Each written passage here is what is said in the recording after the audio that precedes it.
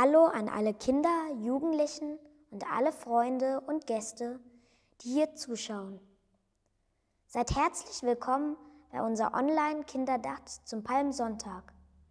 Ich bin Matthias Rudolf und lese heute aus der Neukirchener Kinderbibel von Ingrid Wett die Geschichte von dem Einzug Jesu in Jerusalem. Dieser Teil aus dem Neuen Testament der Bibel wird in der Kirche immer am letzten Sonntag vor Ostern gelesen. Das wollen wir jetzt auch in diesem Video so machen. Die Kirche ist nämlich noch geschlossen. Ihr wisst ja, wegen Corona. Hier also die Geschichte. Das Passafest rückt näher. Von allen Seiten strömen die Menschen nach Jerusalem und jeden Tag kommen noch weitere hinzu. Hunderte, Tausende und noch viel mehr. Da machte sich auch Jesus mit seinen Jüngern auf den Weg und zog nach Jerusalem. Als sie schon in der Ferne die Stadt sahen, blieb Jesus plötzlich stehen. Er rief zwei Jünger zu sich und befahl ihnen, Geht in das Dorf, das vor uns liegt.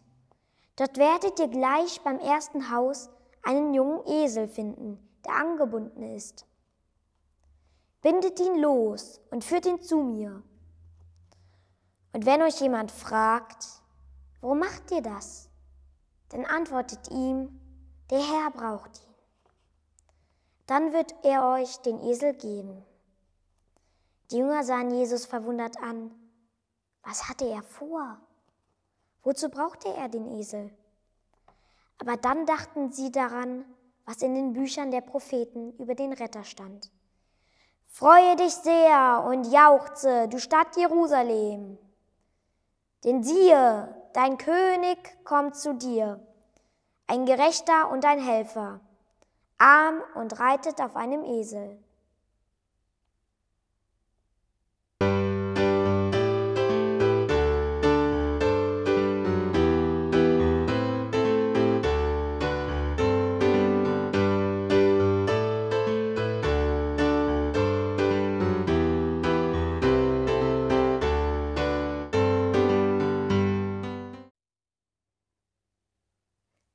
Da verstanden die Jünger, was Jesus vorhatte.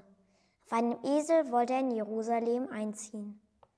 Als König und Retter wollte er kommen. Da gingen die Jünger zu dem Dorf und fanden alles so, wie Jesus gesagt hatte. Sie banden den Esel los, führten ihn zu Jesus und legten ihre Mäntel darauf. Jesus setzte sich auf den Esel und ritt los. Als aber die anderen Leute sahen, wie Jesus nach Jerusalem ritt, eilten sie herbei, jubelten und sangen. Hosanna, gelobt sei, der da kommt, im Namen des Herrn.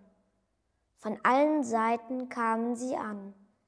Sie liefen Jesus voraus, zogen ihre Mäntel aus und breiteten sie wie ein Königsteppich auf dem Weg aus. Einige kletterten sogar auf die Bäume, rissen Zweige ab und streuten sie auf den Weg. Und immer mehr Menschen eilten herbei. Sogar von Jerusalem zogen sie Jesu entgegen. Hosanna, jubelten alle.